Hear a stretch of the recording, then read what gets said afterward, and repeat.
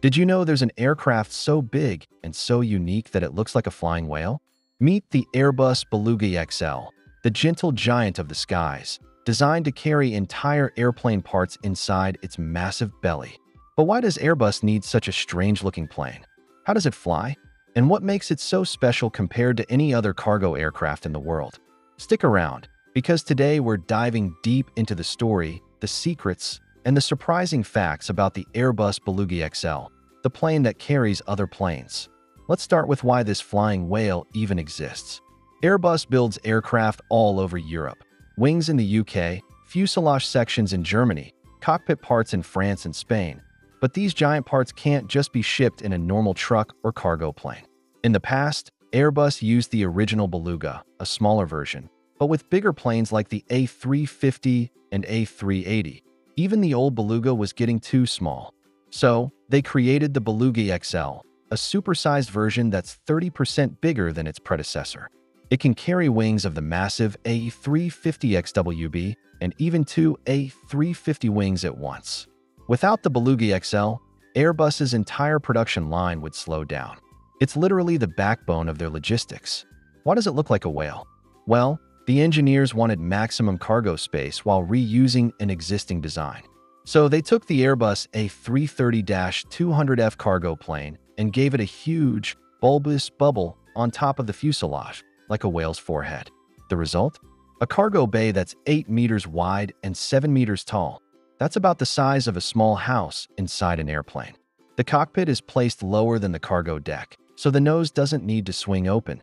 Instead, cargo is loaded through a massive front door above the cockpit.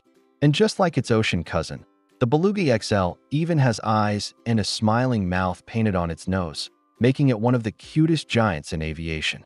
Alright, let's get geeky for a moment. The Beluga XL is powered by two Rolls-Royce Trent 700 turbofan engines, the same engines that power the regular A330. It can cruise at Mach 0.69, about 825 kilometers per hour, despite its giant shape. The special bubble fuselage adds drag, but clever aerodynamics and a massive tail fin keep it stable in the air. Loading cargo is another marvel. The Beluga XL has a giant cargo door that swings open upwards.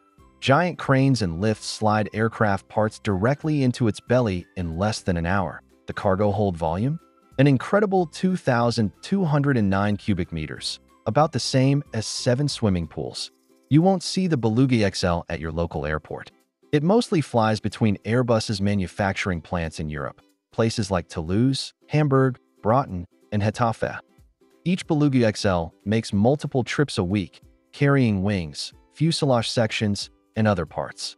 This keeps the production of A320S, a350S, and other Airbus models on schedule. In a single year, the Beluga XL fleet can fly over 8 million kilometers. That's 200 times around the Earth. Airbus has built six Beluga XLs to replace their old Beluga STs. They started flying in 2019 and will continue operating until at least the 2040s.